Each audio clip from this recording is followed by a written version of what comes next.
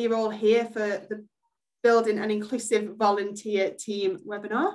And that's a message to let us know that the meeting is being recorded. So we just gone past seven o'clock, so I'm going to get started. And before we do, I will just go through that final bit of housekeeping in case anybody has missed it. So if you've got any technical problems during the next um, hour, then do let us know in the chat. We've got Alex on hand, who is a technical genius and will be able to support. And if all else fails, use the classic IT trick of leaving and coming back, and hopefully everything will be sorted. If you have got any questions throughout the webinar, do let us know via the chat function. And as a reminder, this can be found in the bottom right normally. We'll do our best to answer these either as we're going through, but we'll also have some time at the end as well if there's any other questions that you want to ask. Just as a reminder, and just as you've probably heard the message say, we are recording this, so you will get a copy of the recording afterwards. And please do feel free to share it with other people and please feel free to pass it on to others who have been unable to attend tonight, as I appreciate that a number of rugby clubs have got sessions taking place. End time, I know it's an incredibly busy time at the minute, so we will make sure that we are finished by 8 p.m. and we'll also give some time to answer any of those questions. So the webinar itself will probably take place over the next 45 minutes or so. So with that in mind, let's get started. So this session tonight will provide an introduction to the inclusive volunteer recruitment toolkit that we have recently developed. And it'll give a feel for why it's been developed, how it can hopefully help you, the type of content included in the toolkit, and we'll also hear from a club on how they have approached volunteer recruitment and the success that they've had. We'll also ensure that following this tool, uh, webinar, sorry, you know how to access the toolkit, should it be of interest and should you think there's things in there that will be helpful for you. So before I get going, um, I'd just like to say a big thank you, first of all, to the Diversity and Inclusion Working Group and also a club and CB subcommittee group who we've been working really closely with on the development of this toolkit. And I believe that there's a couple of members with us tonight. So just a big thank you, first of all, to those two groups. So who have we got on tonight's call? So if I can ask Rachel and Paul to turn their cameras on. Um, just a quick introduction from me, first of all. So I'm Stephanie Allmark, volunteer manager at the RFU. Um, I started earlier this year and I have been leading on the development of this toolkit that we're going to be running through on tonight's webinar. We've also got Rachel from Rock Corps, who we've worked with on this project and who will be providing an overview of some of the key themes that came out of these listening workshops that we held at the start of the process and how this helped to shape the toolkit. And just um, for information, Rock Corps work with organisations to help design and implement volunteer strategies, and they've got a lot of experience in engaging, supporting, and inspiring underrepresented communities. And then we've also got Paul from Otley, who are one of the clubs that feature in our toolkit. And he will be talking about how they've recruited um, a significant number of volunteers to support with the development of the club. So I'm sure that there'll be a lot of interest in that section when Paul delivers later on tonight. And then behind the scenes, we have also got Alex Thompson from the RFU, and he will be making sure it all runs accordingly, it all runs to plan, and he'll also be helping to introduce the polls and raise any questions at the end of the webinar. So moving on to why an inclusive volunteer recruitment toolkit. So our ambition is for rugby union to reflect the diversity of the society that we live in. And this is at all levels, from professional to the grassroots and from players to volunteers and spectators. We want to improve diversity and continue to create an inclusive environment. And ultimately, we want to ensure that rugby is a game of opportunity where all will receive a warm welcome, regardless of background or experience. So to help achieve this, diversity and inclusion is one of the four driving objectives for the RFU strategy. And to support this, we've developed a diversity and inclusion action plan. And Alex will be able to put a link to where this can be found in the chat so that if you did want to go and have a look at this in a little more detail after the webinar, you can do. So following some in-depth research, this plan focuses on four key areas of the game. So gameplay, which is players, coaches, match officials, fans, followers and partners, employees and board, and then also game leadership. And this is volunteer leaders such as yourselves within clubs, constituent bodies, and also council. So to support the game leadership area, a working group was set up and they developed a number of recommendations. And one of these was to produce a toolkit to support inclusive volunteer recruitment at clubs and CBs. And this is what we're going to be talking through in a little bit more detail tonight. So considering that recommendation, we are now going to go on to the first poll and I will hand over to Alex to introduce and launch this. Thanks, Steph. I've just launched that poll, so that should be with you now. And the question is Does your club have enough volunteers? Yes or no? Um, if for some reason you can't see the uh, uh, poll for some reason, please put in the chat. So that's the sort of backup. If you haven't found, uh, if it hasn't popped up for you, add it into the chat, yes or no. Uh, so I can see the last few are just going to put uh, in now, just giving you the last few seconds to to answer what uh, uh, you think. Yeah, does your club have enough volunteers? Yes or no? And so I'm going to close that poll now and share those results with you. So, does your club have enough volunteers? Well, resoundingly, you know, 90% to say no and 10% uh, yes. So, uh, Steph, I think they're in the right place for this workshop. Yes, there is definitely are. Um, so, based on the responses, um, we know recruitment of volunteers can be a challenge. And perhaps now more than ever, with the return to rugby after the pandemic and the additional things that need to be considered, and also people's um, potentially concerns about returning to volunteering. So considering recruitment from diversity and inclusion perspective could be seen as an additional challenge to what's already being faced, but actually it reflects good volunteer recruitment principles. And we know that there's a number of benefits linked to ensuring that the club is providing that inclusive volunteer experience, and especially when we are talking about the recruitment of new volunteers. So having a group of volunteers at your club made up of people who reflect the community with diverse backgrounds, experiences, skills and perspectives is incredibly valuable. And we know that a variety of diverse perspectives brings new ways of doing things. It opens up new ideas and opportunities for club growth, and it can help increase efficiency and impact. Ultimately, the more inclusive volunteering is, the more it's going to encourage new people to want to join and to help out. And we also know that increasing diversity isn't about replacing one set of volunteers with another. It's about creating the conditions for people to feel included, welcomed, and more likely to consider volunteering. And reaching out beyond those already engaged to see whether there is a new audience that can help support what you're doing and help support with sustainability of the club. So this brings us on to our next poll, and I will hand back to Alex to introduce and launch this. So I've just launched that poll for you now. So, does your club think about how inclusive your volunteer experience is? Uh, no, it's not really on the radar.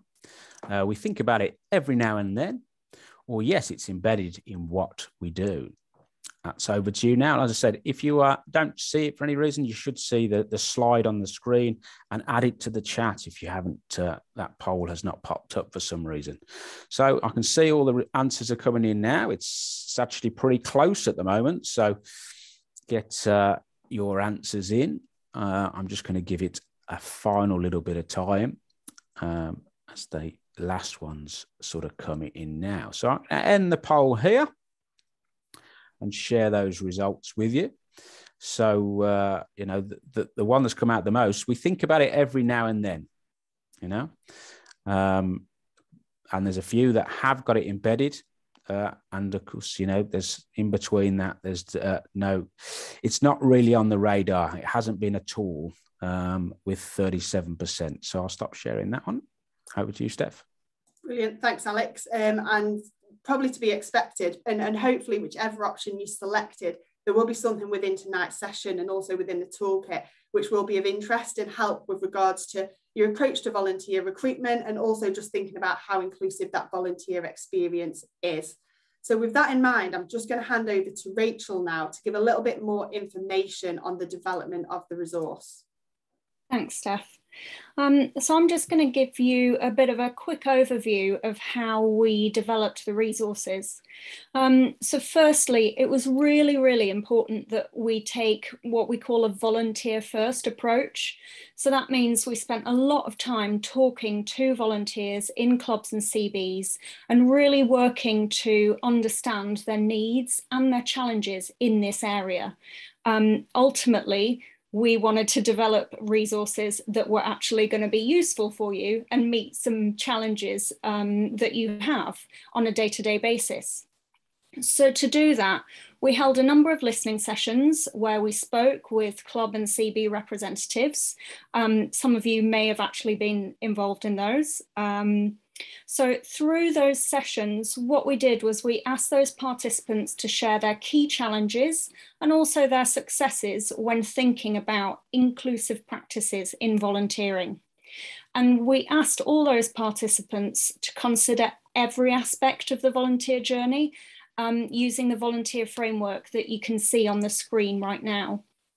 Um, and we just wanted to kind of draw attention to this framework because it's really important to look at the whole journey and um, understand that inclusive practices run through every single aspect of a volunteer's experience. Um, we know that recruitment is a massive challenge for many, many clubs and CBs, well, 90% of you. Um, but at the same time, it's also important that we're considering how inclusive our training is, how we're working to retain and reward volunteers, and how we're using the success stories um, to then spread the word further and inspire more people to join in with volunteering. Um, you know, and we need to make sure that once we have recruited people in, that we're continuing to work to ensure that all those volunteers continue to feel included. So you will find some more detail in the resources um, if you check those out about the volunteer framework and how you can use it as a tool to think about inclusive practices at your club or CB. So the outcome of those listening sessions was that we were able to really identify lots of themes and challenges that were important to you, the volunteers, and this meant that we could then develop resources that really directly addressed some of the challenges that you raised.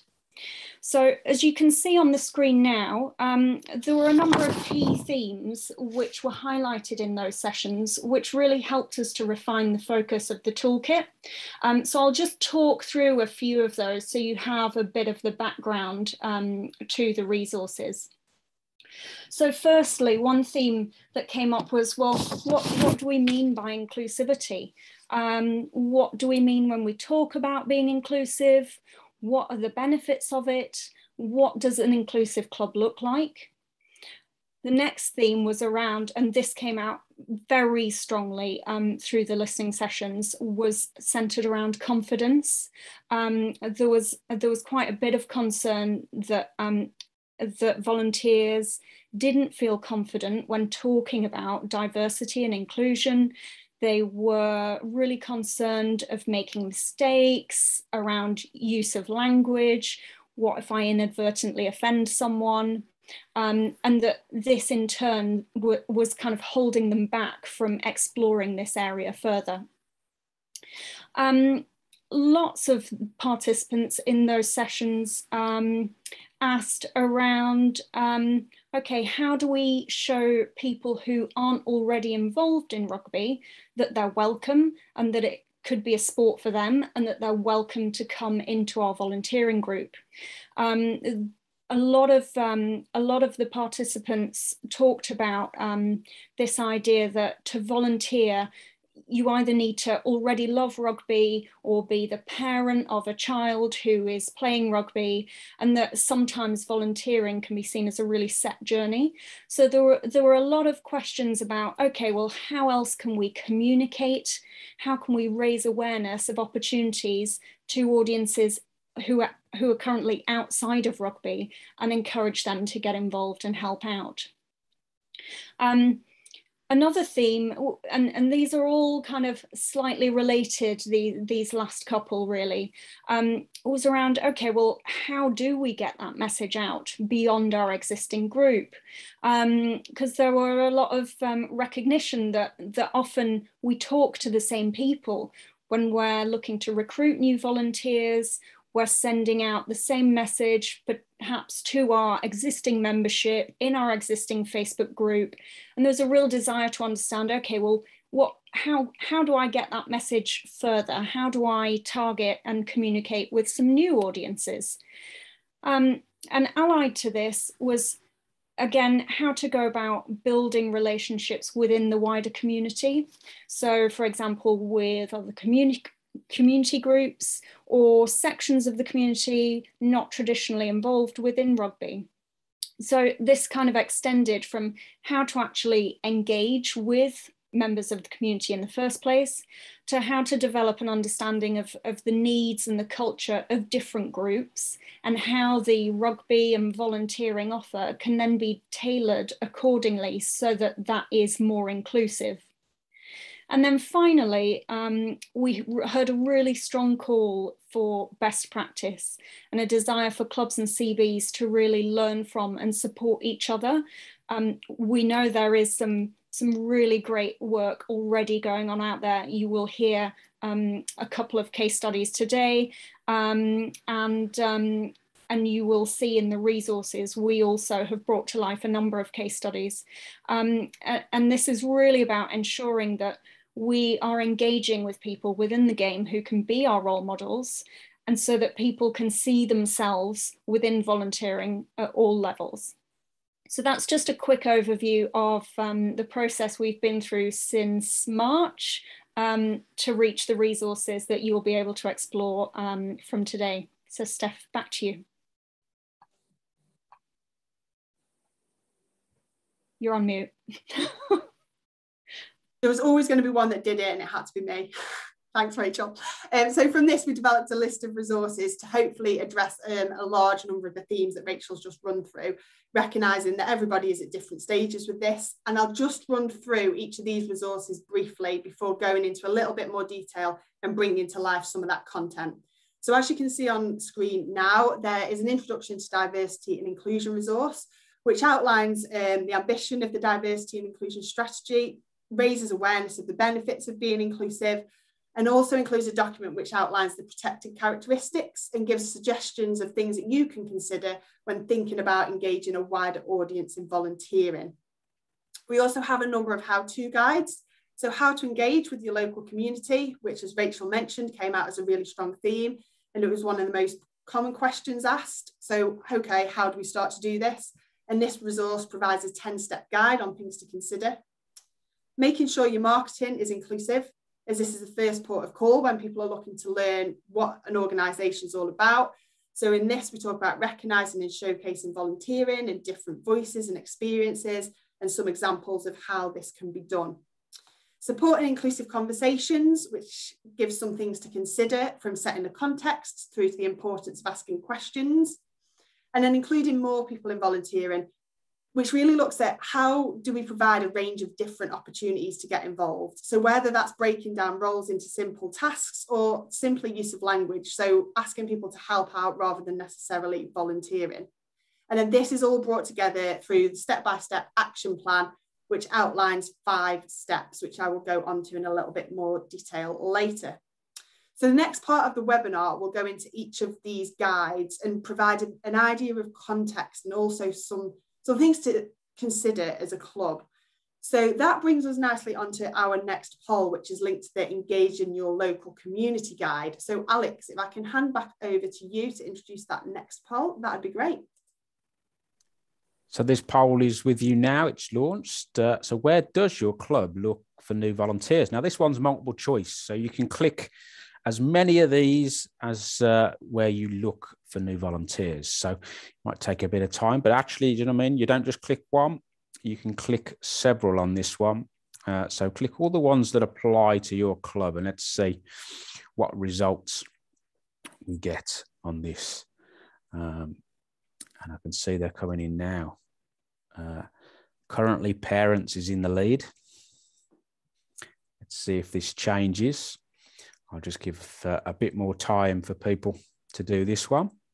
Uh, parents is still in the lead at the moment. Uh, I don't think that's any surprise. So I'm going to finish it in just a moment. So if you want to finish off your or what you put in, um, and I'm going to end the poll now. So I'll share those results with you. And like I said, parents from the off really came out very strongly. Current players, ex players, friends and family, and then sort of external ones, sort of very much a, lower uh, scores are where they look for those. Uh, thanks, Steph. Brilliant. Thank you, Alex. So as we can see, the majority of responses focus around those already involved in the club. And this probably reflects what came out of the listening workshops. And as I mentioned earlier, one of the com most common questions asked was, how can we start to engage with our local community? So the guide that we've developed talks about a 10-step approach, and I'll just run through that in a little bit more detail now so you understand some of the content and see whether any of this might be of use when you're thinking about recruitment of volunteers within your club or constituent body. So the first is around understanding the makeup of your local community. So identifying schools, colleges, businesses near you that might offer programmes. So whether that's Duke of Edinburgh from a school perspective or staff volunteering days, or you could ask local companies if your club or constituent body can be listed as a volunteer opportunity, either on their company intranet or bulletin board. Many companies offer these paid days for volunteering, but take up can be quite low, and that's because employees don't know where to go. So this provides a really good opportunity to get your message out there if you're looking to recruit volunteers. Understanding what groups your members and volunteers are part of separates their interest in rugby so a number of you might do this already through membership forms, but this can provide an introduction to a new group of people as well. And it can also help to understand what skills and experiences your members have. Using social media to see what's going on in the local community and also engage with some of these groups to see if you can support each other with the volunteering. One that I'm sure a lot of you have done, um, but setting up community focused events to provide people with an experience of what the club is all about for the first time. So an example of this is return to rugby, but it could also be outside of rugby. So car boot sales, open days, something which I'm sure a number of you have done. And it'd be really interesting to see if any of you on the call tonight have had any success with that. Great to drop it in the chat if you have. Um, an example of, of that that we've identified in the toolkit is Crawley, who have opened up their clubhouse for other sports groups and community groups. And this has really helped to build their wider relationship within the local community and has helped to develop and grow the club. A really simple one, but making the ask personal. So we know from research that a fifth of people say that the reason they don't volunteer is quite simply that they've not been asked. So just asking the question can sometimes res result in new volunteers having all of the right information on your website. So do you have a volunteer or recruitment section? And perhaps most importantly, keeping it up to date. So if somebody was to express an interest um, in volunteering via the website, would that go through to somebody that's then able to respond and let them know what the opportunities are? And also highlighting what club and volunteering can offer. So whether that's experience for a CV, developing skills or personal benefits, I think everyone knows on the call that volunteering has a massive impact on, on well-being, health and life satisfaction. Um, and that volunteers in sport are up to six times more likely than general volunteers to be motivated by the social benefits of volunteering. So meeting new people, making new friends, sharing experience. So is this something that you as a club talk about when you are looking to recruit more volunteers? And finally, listing opportunities on local volunteer boards. And there's a link to how you can do this and find your local volunteer centre in the toolkit. And Alex will also be able to pop a link into the chat now, should you want to have a look at this and find out where your local volunteer centre is and how you can link in with them as well. And an example um, of where that's worked quite well is uh, Bexley. So Bexley RFC um, had a shortage of volunteers at their club. So they reached out to their local volunteer centre and not only did they recruit several new volunteers, they were also able to access some additional support and guidance on how to support existing volunteers as well. So if you want to find out more about that, there's a link in the toolkit and also in the chat. So we know relationship building lies at the heart of engaging with your community. So this shouldn't necessarily be viewed as a one-off thing to do, but this guide will hopefully provide some steps and ideas which can be incorporated into some of the work that you're already doing. And completely appreciate that results won't necessarily be instant, but over time, you'll hopefully be able to build some great connections and see some new people getting involved in this. So in order to engage your community, your marketing and communications are also really important. And with that in mind, we will look to launch our next poll. So over to Alex. So that next poll is with you now. Uh, how easy is it for people to find out about volunteer opportunities at your club? Is it very easy or is it like a needle in a haystack? Let us know um, what you think. It's quite interesting how the results are coming through uh, so far. As I say, if you can't see it for any reason, anytime that chat function, always put your uh, details into there or what you think. I'm just going to give it a last few seconds. Still a few just coming in now. And uh, see one just coming into the chat. They've said a, a needle in the haystack. Um, so I'm going to end that poll now and share the results with you. Um, so unfortunately, you know, how easy is it for people to find out about volunteer opportunities at your club? You know, there's some as you know on the, the far end of the scale, like a needle in a haystack, and and majority of them are sort of hard, moderate, and only a few, unfortunately, are easy. So something for us to work on. Thanks, Alex. Really interesting. Um, and I think especially interesting when you consider that over a third of people that are looking for volunteer opportunities in sport online and on social media. So marketing materials are really crucial tools in ensuring that both existing and also prospective volunteers are aware of the opportunities that are out there. Um, this is the first port of call when people are looking to learn what you're all about and whether your club or your constituent body is somewhere that they'd like to, to get involved and volunteer. So it's really important that marketing and communication, wherever possible, can recognise and showcase the different people, voices, and experiences that exist. Um, and I think by doing that, you can really help people both inside and outside of the club to feel represented and show it's a place to get involved. So the how-to guide that we have pulled together around um, the marketing and communications talks about some things which you can consider to ensure that your marketing is inclusive and also raises awareness of volunteering um, and I'll go through this in a little bit more detail now and put some questions out for you to consider. So the first in terms of reviewing your marketing materials, what subjects do you talk about the most? What images do you use? And how often do you actually talk about volunteers and volunteering in your marketing and communications? So if I was to go and Google the club and try to find out how to volunteer, would I be able to find this easily and would it engage me? So we know that attention spans can be quite short and people have got a lot of different things going on. So is it really easy to find out about that information?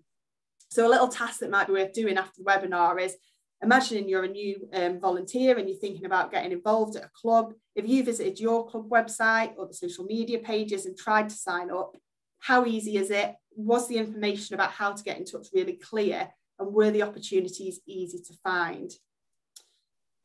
asking members for feedback. So gathering feedback through a quick Facebook poll, somewhere to drop suggestions after a session, or just simply by asking people um, what they thought of the recent uh, marketing and communications that came out or what could be improved for next time might be quite useful. Planning a content calendar, so building key yearly moments into your plan. So this might be Volunteers Week, which takes place from the 1st to the 7th of June every year. And is a really good opportunity to amplify volunteering and to say thanks to any existing volunteers as well. It's easier to create varied content when you know what you want to focus on and when, especially across social media and email, um, you know when that is going to be. So for more information about using social media, you may have seen the webinar that we held earlier this year around engaging players, but there's also a lot of content that's relevant to engaging volunteers as well. So if you go into the RFU Club support channel, you'll be able to find the webinar there. And then finally, asking people that aren't currently involved in the club for feedback. So whether this is through existing links that you have, so siblings or parents players, or whether you've got some links with um, local groups, and just ask if they'd be prepared to give a bit of feedback and in return they might value your opinion on something so just a simple question such as would you know that you can get involved in volunteering from looking at any of our marketing and communications or do you even know that actually our club is volunteer run? So another bit of research that's probably just worth touching on, this was done a couple of years ago now, but it was found that one of the major challenges faced by sports clubs when recruiting volunteers was that over half of the public didn't realise that community sports clubs rely on and are ultimately run by volunteers. So it might just be worth thinking about actually, is this something that we talk about in our marketing and communications? And do we reinforce this to members and wider? So coming on to the next how-to guide, a key element of marketing material is also the language that you use, which brings us on to our next poll quite nicely. So I will hand back to Alex again to launch the next one. Thanks, Steph. Uh, so this poll is with you now. Um, so we're sort of that talking. How confident do you feel about talking about diversity inclusion? Uh, very confident, or all the way down to I avoid it. So select your answers there. Same rules apply as we've done the other ones. There's uh, just one more poll after this, so you'll get a rest from me. Um, uh, great things coming in the chat. Please do keep them coming. Sharing the ideas is a big point of this uh, webinar this evening. Uh, so I'm just going to give a little bit more time for the final ones to come in on the poll. And uh, I'm going to end the poll there now. Share the results. So, how confident do you feel about talking about diversity and inclusion? The main one that came out, I'll give it a try. Uh, there's some that I don't feel confident at all about it. Um, uh, but the main sort of two in the middle, I'll give it a try, and then some are, are confident about it. Steph? Brilliant. Thanks, Alex. And I think, again, that's probably um, to be expected based on some of the listening workshops as well. Um, and something that was identified around supporting conversations around diversity and inclusion with confidence can be um, a challenge that is faced when trying to build that more inclusive environment. So whether it's a general conversation about diversity and inclusion or a chat with someone whose experience or background might be different to your own, people can tend to hold back due to that lack of confidence. Um, but when creating that more inclusive experience, we know that the ability to support conversations is one of the most powerful tools available. And it's how we build support from those around you, create new relationships, and ensure that volunteers feel welcomed and included. So, some of the things to consider and that we've referenced in the toolkit is around context. So, when you're having conversations around diversity and inclusion, think about setting the context so that people understand the wider purpose and intent behind some of the conversations that you will be having. Consideration, um, just considering and being aware of the potential for different lived experiences sounds really obvious, but in conversations, being able to recognize that your experience is not the only one that exists and to listen to, acknowledge, and just understand the experience of the person that you might be talking to. And that will help to ensure that people new to the club feel heard and recognised. And curiosity, again, something quite simple, but just taking that interest in people and getting to know them is a really important way to welcome volunteers into your club um, and I think asking questions can help to break the ice and also help to understand more about the other person's experience and background. And from a volunteer perspective, offer opportunities that are potentially matched to their skills or motivations and you know is something which they're going to enjoy. So East Dorset Dockers um, RFC has been built based on this inclusive club culture where all the members are represented and able to share their views and impact the direction of the club. And with the help of the club, we've pulled together a video to bring some of this to life. And this video is one of several that we've developed to bring to life some of the content that we've discussed tonight, and it's in the toolkit. Um, and I won't show this now, but I'll link to where these videos can be found is in the chat so that you can go away and have a look at these and see if any of this could be applied to your club as well. So the final how-to guide is around ensuring volunteering is inclusive and open and attractive to a wide pool of people. So we're hoping that some of the ideas in this guide will help you to think about how you can start to create volunteering opportunities that enable you to widen that pool of volunteers. So not just talking to parents or other people within the club, but talking to the wider community as well. If some of your key volunteer roles are already filled, brilliant. It will help to consider ways to include more people while still retaining your existing volunteers and help with that succession planning side. And if you're struggling more generally with recruiting volunteers, as the 90% have said, it might give a few ideas for how you can make it more appealing to new people or easier for them to say yes to. So we know from various research that many people would love to volunteer but can't fit that formal role into their lives due to other commitments. So does your club have a list of the small tasks that could suit someone who can only help out now and again? And when thinking about recruiting for more volunteers, do you think about frequency and format? So some tasks might need to be done once a year, some might not need the same person to do them every week, and some might be suitable for doing online from home, especially now and after everything that we've gone through over the last 18 months. So is that made really clear in any role descriptions that you share or any volunteer recruitment campaigns that you're thinking about doing? So some questions to get you thinking on the screen now. So if you're thinking about recruiting for volunteers, do you think about if someone has an hour to give, what tasks would you be able to give them compared to someone that has a weekend, compared to someone that has 30 minutes? Does your club make a habit of regularly asking different people to help out, particularly with those small bite-sized tasks and how is that ask made? So as I said earlier, sometimes even using the term helping out can make it sound more appealing. And as more people experience helping out, the more likely it will be that they'll be open to doing so in the future. And if anybody has done any of these things that we're suggesting, it'd be great again to hear about that in the chat and hear about the outcomes and whether it was a success. So the other one was splitting roles. So there's not necessarily a reason for every committee role to be taken on by one person. So splitting a role in two, whether that's having a secretary and a vice secretary or splitting a women and girls coordinator role into maybe sponsorship, player recruitment, and executive committee is a good way to create opportunities for more volunteers and match different people's skills and experience to different aspects of the role. And whilst we know that recruiting new volunteers can be a challenge, so you might be thinking, well, we can't even recruit one person, so how can we recruit two, three, four? You might find that by making that role less intense and more bite sized and more flexible, it actually becomes a more attractive proposition or easier for someone to commit to. So if you're doing this, something again, which probably sounds really obvious, but having a generic email address which multi-users can access can also help to split the workload.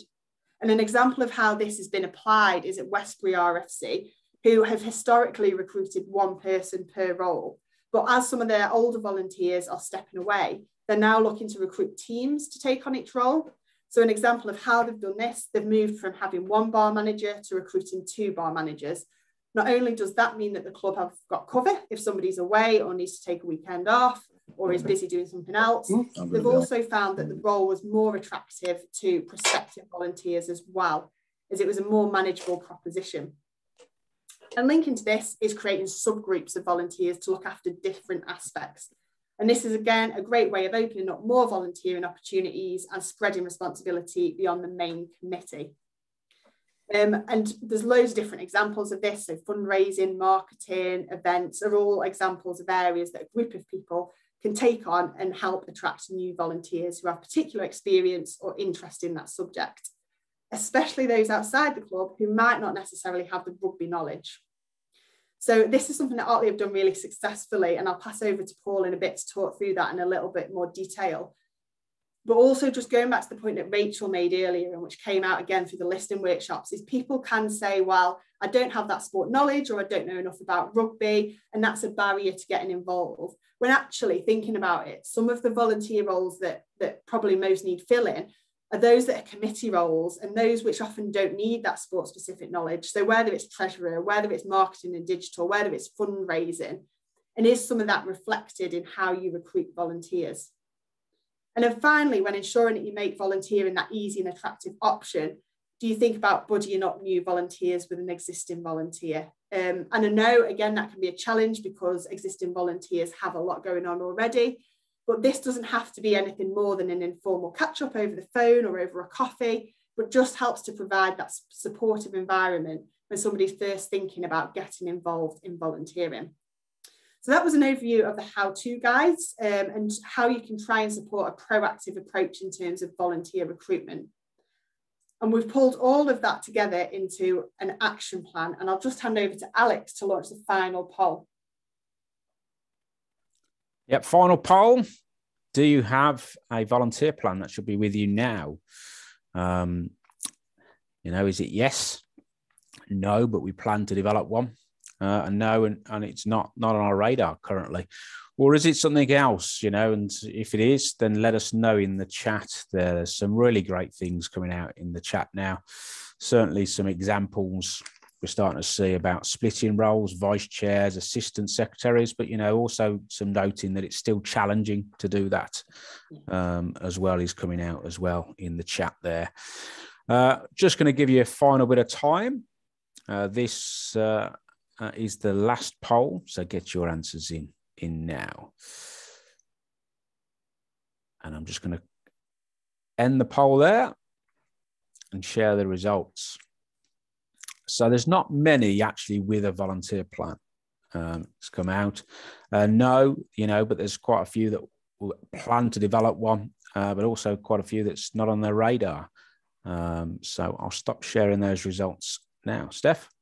Brilliant. Thanks, Alex. So for those that plan to develop one, and maybe for those that um, it's not currently on their radar, but after this webinar and after having a look at the toolkit, it might be something that is spoken about at the next committee meeting we've pulled together um, a how-to guide in terms of creating that action plan, which will hopefully help to make the volunteer experience more inclusive and welcoming and ultimately bring in some new volunteers to the club. And there's five steps that this um, goes through. So the first is around enlisting your volunteers. So that might just be worth having a conversation or a chat at the next committee meeting about actually how do we start to think about recruiting volunteers and take that proactive approach. The next one is around analysing your current situation. So before identifying what you might want to change, just having to think about the current situation. And this might be about what does that volunteer experience look like? So some things that you might want to consider are around inspiring. So we've talked about this, but how easy is it for people to find out information about volunteering? And is actually that quite a quick fix? Recruit. So where do we look for volunteers? Are there any skills or experience that you'd like to bring into the club? And hopefully some of the things we spoke about earlier in terms of different opportunities to advertise might be useful. Um, and then another one, amplify. So how do we tell people outside the club CB about volunteering and the opportunities available? In terms of understanding your local community, this will just help to see how representative your club and volunteer group is and help you potentially identify people that you might want to try and engage. The good news is that this work's already been done for you by the Office for National Statistics. So if you are interested in your local community and the demographics, we've got um, a link within the toolkit that signposts to this website, which Alex will also be able to pop into the chat now. And this isn't focused on ensuring that the demographics of your club or CB exactly match those of your local community, but just to have a think about whether there's different ways that you can reach out and engage with a wider audience beyond those that are already members of the club and involved. And then making your plan. So this obviously can include both short-term and long-term goals and completely appreciating and remembering that not everything has to be tackled at once, but this could be some really simple, quick fixes um, that you can start to put into action. And then finally, communicating your plan. And this is perhaps a stage that gets forgotten about, but one of the most important. So once you've agreed the plan or some steps that you're going to put into place with regards to volunteer recruitment, communicate that back to all of your fellow, fellow volunteers and club members. Now, if everyone knows what you're trying to do and why it's important, you'll hopefully find they'll be a lot more supportive and they might even offer to get involved and help out. So having that clear purpose can really help when it comes to volunteer recruitment. And this is something that Otley have done really well. Um, and I'm going to hand over to Paul now to provide a bit of an update on how they've approached it and some further information um, on how they've gone about it. So Paul, over to you. Thanks, Steph. You, first slide. Thank you. Uh, that all, probably all sounds really daunting to everybody. Um, I've been in chairman of Otley for about six or seven years, and when I first was asked to be chairman, the whole place was pretty chaotic. Um, need, something needed to be done. It was living by the day, not planning for the future, not even thinking about what was going to happen on a Saturday. So, fairly quickly, when I got involved, um, we started to create a vision that's a sort of a work in progress document. It moves all every time. It moves forward all the time. So it's 2025 at the moment, but it, five, six years ago it was 2023 uh, really important to us. And this could be actually a volunteer plan, um, listening to what Steph and the guys have been saying. For us, it's a vision. Uh, we got all the members into the clubhouse and created seven pillars of what we thought were important to our club. This would be different to every other club, but ours were financial sponsorship relationships, rugby, facilities, members, and community. Very familiar words to you. But what was important to me was to say, what do we want to do with these seven pillars? And I think if you pick any one of those sort of five or six bullet points within any of those pillars, you can see, therefore, a volunteer role. And I'll pick one uh, typically in the first column, financials, the third one down says establish a new constitution fits for the 21st century. Well, five years after this was written, this year, we have created a new constitution and we've got a charitable company a limited by guarantee application in with the charity commission with a whole new constitution that's been driven. We wouldn't have been able to do that without coming up with the vision and moving things forward because it just got lost in the wire really. It just get lost in everything else um, of running the day-to-day rugby club. So my my view, going back five or six years, was create the vision and get members to buy into what that vision is, and then it becomes an updated document every year, whereby things can change, things will come off the vision, things will move on the vision as your club develops. Um, if you go on to the second side, slide, Steph, I'll probably come back to this one, but the second slide was communication was absolutely critical. So, you know, creating subgroups, allocating a chair to that subgroup, and then identifying the individuals within those subgroups. But what we were doing, so if you go back to the previous slide, please, Steph, what was really important. Yeah, what was really important to us was to tell people or to say to people, this is what we want to do. Can you help? So you can pick any one of those five um, strands underneath the seven pillars, and there's a volunteer role there you know, you go to the last column, community, um, increased our mixed gender participation. So, you know, getting somebody to run a girls, uh, the, you know, to promote the girls' activities in the junior rugby. You know, we've now got uh, 300 uh, kids playing rugby. A, a, third of them are females. Seven years ago, we didn't have any. So, you know, it just, but we've now got somebody running that. So we created our own volunteers by creating the actions, by creating this, this vision that actually created and identified what needed to be done. So you didn't get people just going off. What we've, the problem I found is we had a lot of willing volunteers operating in this chaotic environment, all doing really valuable work, but none of it joined up. So actually, we weren't making any progress. And we only realized things were going wrong when things went wrong when you know things fell over why has that happened and everybody says well it's not my job it's not my job it's never anybody's job when it goes wrong so we were pretty clear on what uh, what we wanted people to do and to give them a long-term goal so they could buy into this volunteer role. Um, we don't have enough volunteers. Um, we're a third of the way through creating this vision, and I'll probably say in the next three years we'll probably be only 40% through it because it's work in progress all the time. It sits on our executive committee, um, uh, you know, and we discuss everything um, at most meetings, but only the really important things that are relevant for today. So if you go back to the second slide again, Steph, again, one of the new groups that we created, which sort of sits outside all the subgroups, was what I'll call business and plan transformation and business planning. So we got a group of business people that were involved in the club that didn't really want to volunteer, but had a lot of good knowledge on how to run businesses. And we create and we, we created a platform on how do we transform our rugby club into something for the 21st century. And they overview everything that the subgroups do. So the subgroups report into a steering group and the steering group reports into the committee. So all the committee people that are doing the day-to-day work of running the club don't really get involved in any of this stuff. It's all done by 40 or 50 new volunteers that have come up with um, over the last um, three to four years. And it's quite powerful. Um, but the first stage, third slide, please, Steph, the, you know, quite importantly for us, is first thing for us was to create a vision, but that could be a volunteer plan. Allocate subgroups on what's important to you as a club, and I'd allocate somebody that could organise that identify key individuals that have got the right skill set to contribute into that subgroup, whether it's financials, whether it's community, whether it's sponsorship, marketing, social media, rugby, whatever it is, but get key individuals that have got skill.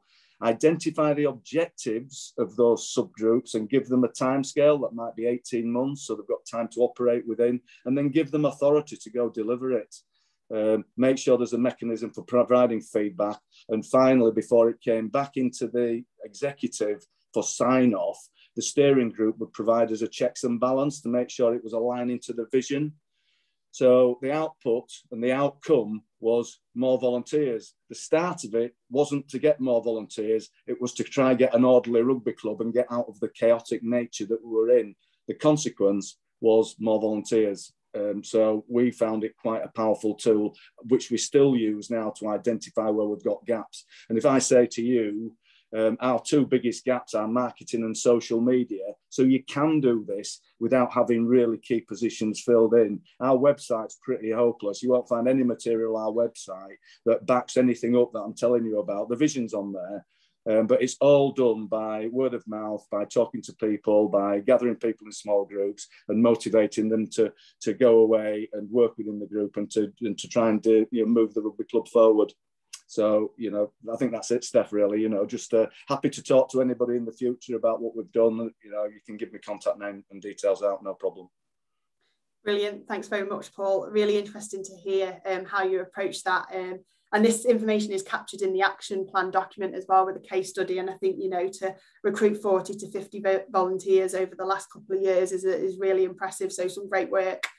Um, so just going back to all of these resources, there are a number of case studies throughout each of them to bring to life some of the content that's been discussed. Um, and each of the resource is underpinned by some guidance on how to approach it and questions for you to consider as, as you go along. And we appreciate that, you know, there is a lot going on at the minute, but hopefully some of these are just some small things that you can consider, put into practice, and will hopefully have some good results. So that's provided an overview of what's included in the volunteer recruitment toolkit and hopefully given some things to consider with regards to recruitment at your club or constituent body. And I think finally, just to bring us on to the final um, bit of the webinar, is having heard all of this, it'd be really good if you could just put one action that you're going to take away from tonight's webinar into the chat. Now, this could be as simple as I'm going to go and have a look at the resources.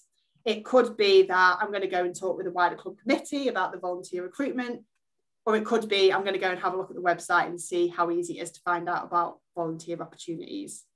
Whatever that is, if you could put that in the chat, that would be brilliant. And I can see some of the chat coming through now. So whilst you're doing that, just as a final reminder, the resources that we've spoken about tonight are available on the Diversity and Inclusion Hub of the website on the resources section. And they're also available on the volunteer recruitment page for people to access. And Alex will put links to both of those in the chat now. And you might also want to have a look at some of the resources on the Club Matters website as well. And we'll send around a link to all of this following tonight, along with a recording of the webinar so that that can be shared final um, plea from me, I guess, is we said at the start um, of the workshop that this toolkit is, is still the start of the process. And we'd really love to follow up with some of you who have attended tonight just to see how the resources have landed. So have you used them? What's worked well? Are there any areas for development? So if this is something that you would be happy to be involved with, if you could pop a quick note in the chat box along with your name and club, um, we will follow up with more details or alternatively, following this webinar, if you want to drop me a line and I'll put my email address in the chat in a bit, that would be really appreciated. So thank you very much for giving up your time to join us tonight. Before we finish, I will just pause to see if Alex has any questions from the chat for either myself, Paul or Rachel. Thanks, uh, uh, Steph, there's uh, a few things in the chat. I didn't see many questions, but I've picked up a few things. Firstly, for Paul, you know, lots of people saying inspiring, fantastic work, good effort, super interesting. Uh, so, you, you, know, certainly Paul. So, hence why, Paul, put yourself on camera, mate, because I've got a couple of questions for you um, that have come through, and I'd just like to get your opinion. So, there was one on there that came through. You did, I saw you put your response in the chat, but how many uh, number of members do you have at Otley? We have about 300 members. That doesn't include junior kids, so including junior parents and um, members. So about 300. Um, so a pretty small club, really, compared to some of our some of our um, sort of peer group in the, in our local area. Excellent. Thanks, Paul. And uh, we had just some comments. So I'm going to ask your opinion because obviously I think it fits in pretty well. So we had one that came in say, You know, it's convincing the old school we need a plan, new school want one. So, how did you go about that at, uh, at Otley? Uh, well, engaged with the old school really well. Most of our um, over 70s um, operate on a Wednesday gang, so they're all together every week. So right at the get go, go tell, uh, go explain to them what needed to be done if they wanted to, if they wanted the rugby club to survive for another 150 years, and and get them bought into the to the vision because they're they're as good at exporting the message as, as anybody. Um, so yeah, getting the old guard, getting the the long serving members um, on up to speed very quickly um, was one of the starting blocks. Excellent, thanks, Paul. And Steph, do you have anything to add on that in regard to convincing the the old school that we need a plan?